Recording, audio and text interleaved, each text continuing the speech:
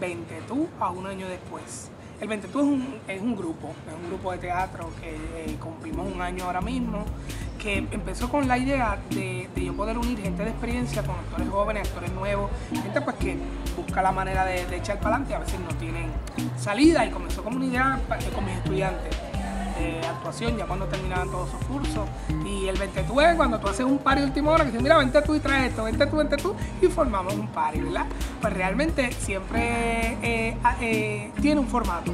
El formato son historias diferentes que las eh, engrana un lugar, un espacio o un evento familia disfuncionalísima, donde mi papá, que el, el personaje que interpreto, es mi padre, muere, y un año después es que tenemos que hacer la lectura de la, de la herencia.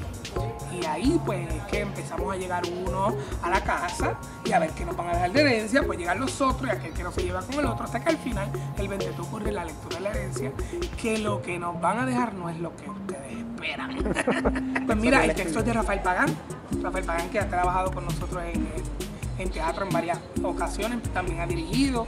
El 22 nunca ha dirigido 22, pero si no es escrito dos, este es el segundo. Él escribió primero el Summer Edition que hicimos el año pasado en verano y ahora nos escribe este a un año después.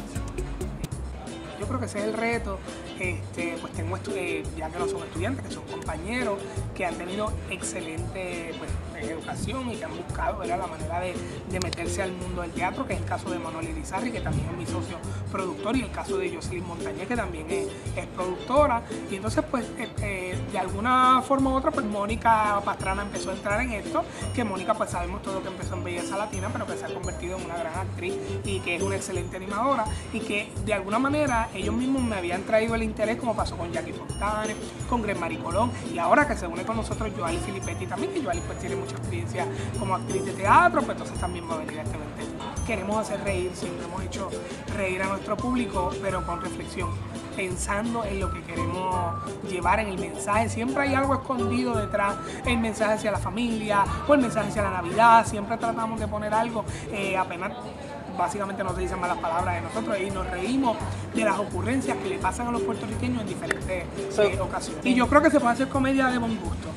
Yo no le critico a nadie, yo cada cual hace lo que, ¿verdad? Lo que, lo que entienda que puedo hacer, pero como dije en una revista hace poco en una entrevista, es que yo no sé hacer eso.